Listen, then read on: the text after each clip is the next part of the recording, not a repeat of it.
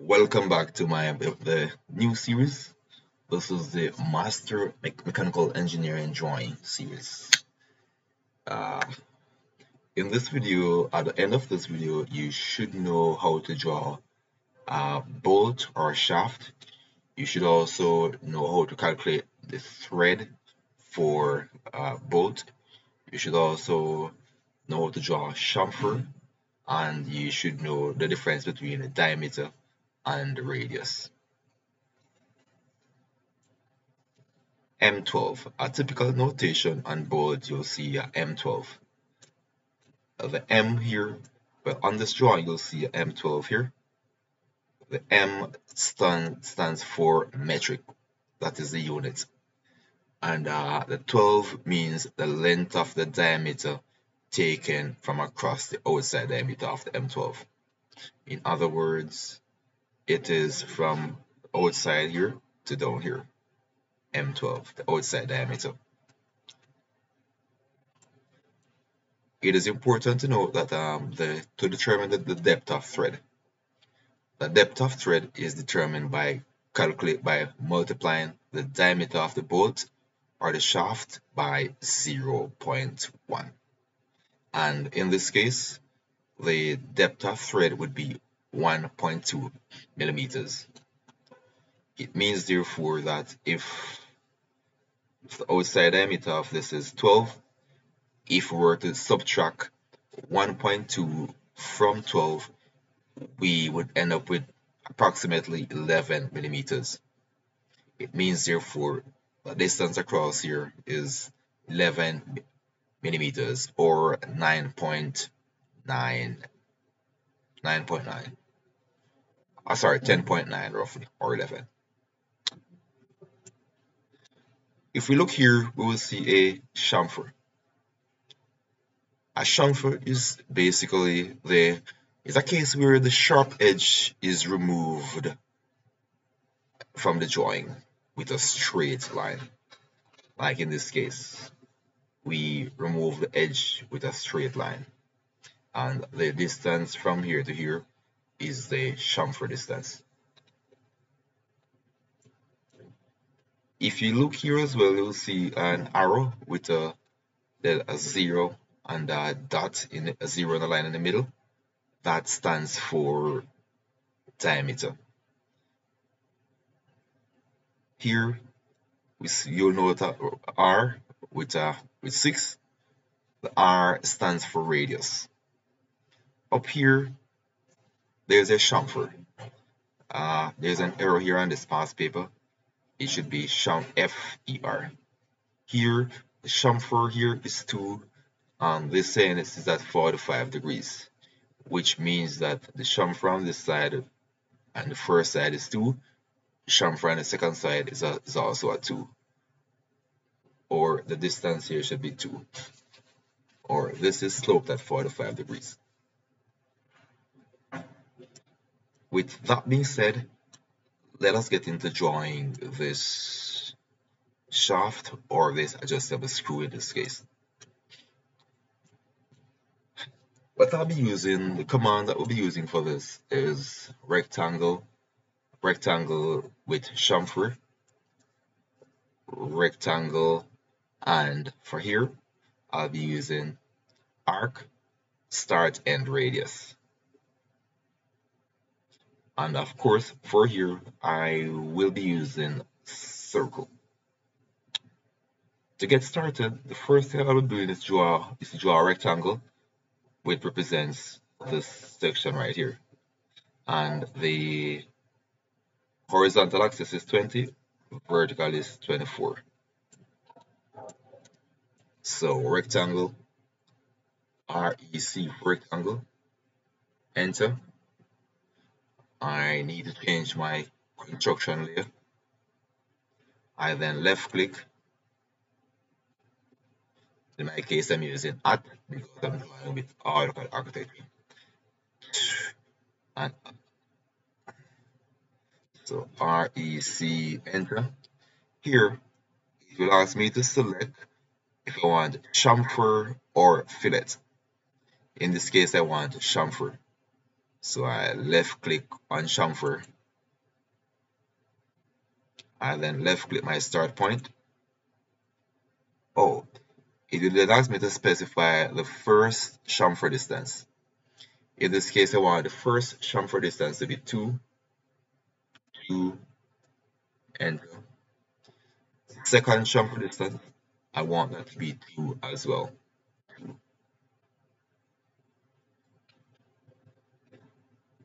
Enter. Now, why did I choose to? I choose to because this is at this is 2 here and this is at 45 degrees. It means that both of them are equal. I then left click then enter 20 to 0 comma 24 enter. Yeah. So I so let me repeat this. Let me repeat this process. I first type REC for rectangle enter. I then choose chamfer. It then ask me to specify the distance for this chamfer side as well as distance for this chamfer side. First chamfer is 2, so I type 2, enter key. Will then ask me to specify the second chamfer distance. Second chamfer distance is also 2, so I type 2, enter. It will ask me to specify the first corner. I left click here, then drag. I then enter the X value and the Y value. In this case, the horizontal, this horizontal value or the X is 20, previous 0, comma, vertical or Y value, 24, 24, enter. And uh, that's how this is generated. That's how we generate the outline here. Next step is to draw a line through this and one line there. So I type L for line, enter. Then left click here, move down, left click there, escape, space bar or enter key to reactivate the last command. I then left click here, left click there, escape this part is done. Now there's a circle here of radius diameter 6. Yeah? It means therefore that the radius is 3. Now, two things I'll teach you. I will teach you another command, which is how to find the center of an object by using M2P or the middle of two points. M2P or the middle of two points. So the first step is to activate circle, C for circle, and at this point it asks me to specify the center. Now my center falls in the middle of two points, middle of here and here, also the middle of here and there. I could use two techniques to get the center of this. I could use object snap tracking, which is one, or M2P. However, if I use M2P or object, sorry, if I use object snap tracking, I would need to ensure that object snap tracking is on. I like to use M2P, it's quick and fast. So M2P, middle of two points, I want the middle is middle of this point and that point and just like that my center is formed now I need to state the radius or the diameter. In this case they give us the diameter. I click on diameter then type 6 6 enter that is our drawing. Now back to the drawing. The drawing states that the distance between here and there is 3 millimeters. So, how do you think we can establish that distance? Yeah, how do you think we can establish that distance? We can use two methods.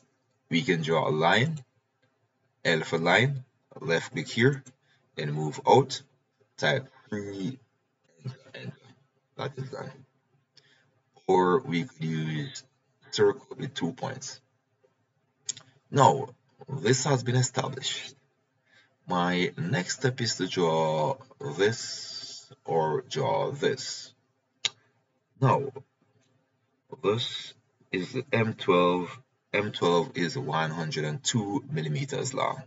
So I will draw a rectangle, length 102 by 12.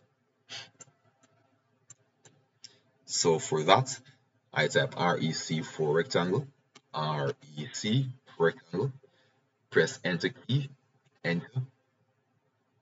Now we must ensure that we go back to chamfer and set these values to zero before we start anything. It is important to note that we must reset those values to zero. So here I left click, drag the horizontal value is 102 102 comma 12 1 2 enter voila. Now this is drawn this is 102 millimeters by 12 millimeters. Now I'm gonna move this. Left click onto this. Type M move now where should we use as our base point? No, I want the center of this to match the center of this, or to be joined to the center of this. So I left click here, and I then left click here. That is now done. Now, what else do we need? We now need this. Yeah, we now need this. And uh, this is 102 plus 3 is equal to 105 so that is what is 105 plus 15 is 120 so the length of this is 120 in total now the width of this the width of this if this if this is 112 and we take away 1 from this for the thread 1 for this this means that this is approximately 10 millimeters. Yeah? Because remember from here from here here is the depth of thread. From here to here is depth of thread and if we take away one millimeter thread up there one millimeter thread down here that is two so take away 2 from 12, we are left with 10. So this distance is 10. So our the rectangle now is 120 by 10. So we start by typing rectangle REC, rectangle, left click start. We then type our x value which is 130 130 comma 10 1 0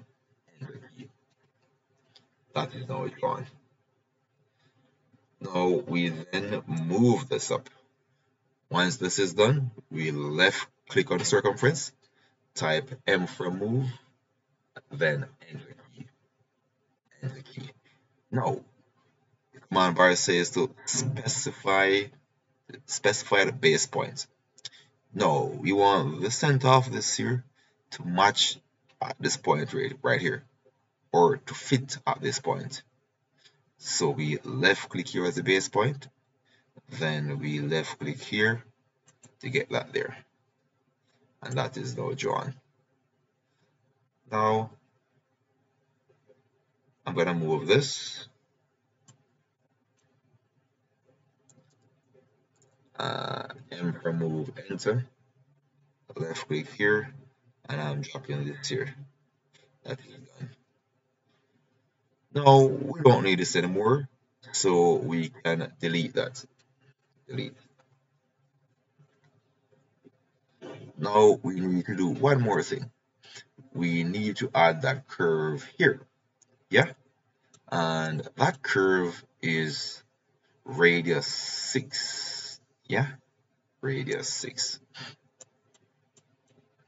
so we go and we use for, for this we use arc start end radius. So I'm going by arc. Click on arc drop down go down to start and radius. Click here. Click here for start. Here for end. Then we want a radius. If you notice the command bar is asking us to specify radius. In this case our radius is 6 I type 6 and here we have it is now uh, done done for the drawing right? Once I've done that I'm now to change this to the outline layer. Left click there. Outline. And I could add my dimensions to this but I don't want this video to be too long so I'll be stopping it here. Again guys if you like what I'm doing like subscribe